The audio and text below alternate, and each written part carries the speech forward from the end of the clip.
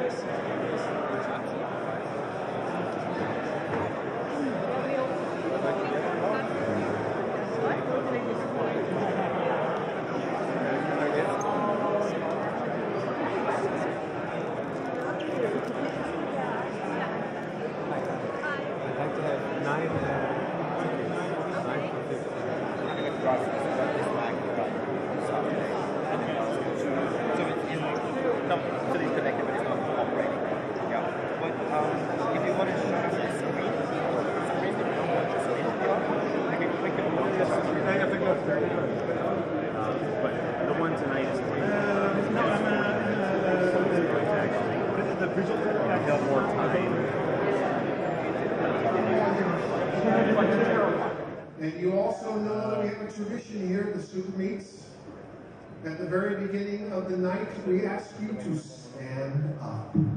Please, just indulge us and stand up. Wow, there's so many people here. Yeah. Amazing. There'll be people trickling in all night, for right now, you are standing up and you know what to do because this is what this meet is all about. It is all about meeting somebody that you do not know. So turn around, shake the hand of somebody you do not know, and say hello.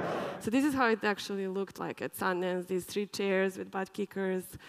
Uh, we we uh, ma- made uh, five by five meters uh, dark room so that it kind of has the feel of the of the basement where the family is hiding. So when you already enter, you you you start feeling something, and uh, and this is the message we projected at the end of the experience.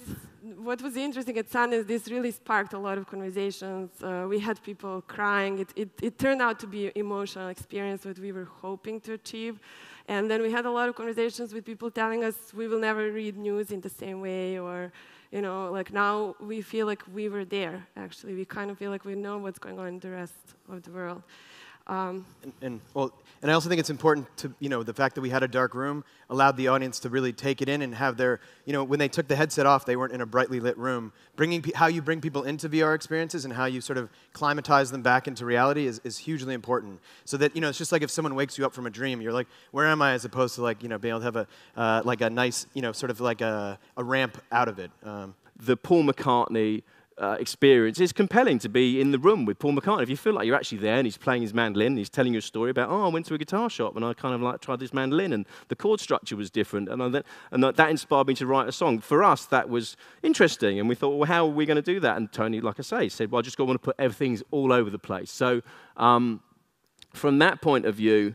Uh, it's important to be able to manage all your media uh, uh, and think about this is the reason that this came up really. There's a, there's a, a view that you need to force the viewer to look in a specific direction. I keep getting asked by people talking to me about vr uh, and the, one of the first things they ask me is what are the rules of vr you know what, what, what can we do and what can't we do? And i would say that the rule of vr is the same as the rule of all filmmaking. You've got to be able to try, you and the director have got to be able to try whatever stupid idea you come up with or brilliant idea, you have to be able to look at it in context, in the viewer, and, and work with it. And if you haven't got an editorial system or a mindset with an editorial system that can handle strange requests and sudden, sudden whims, and you know, oh, I want to see this shot with a uh, million guitars plastered all over it. I want to see this shot with a, uh, you know, a man on a scooter driving through the, through the thing. I mean, all, anything can come up. Um, you have to be able to uh, uh, just chop and change and grab shots and chop them up and throw them all over the place and move things around and change the order of sequences and find lines. You have to be able to move in the same way that you can when you're editing normal video. It's not good enough to go, oh, this is VR, it goes much slower. I mean, there is rendering and stuff like that, and sometimes it does just become impossible to go that fast. But it's not good enough to just say, well, it's different now. We don't have to produce the same quality output as we do in regular TV or broadcast or film. I think that the bar is still as high as it always was. It's all about the idea. It's not about the technology at all. It's always about the idea and the artistry. Um,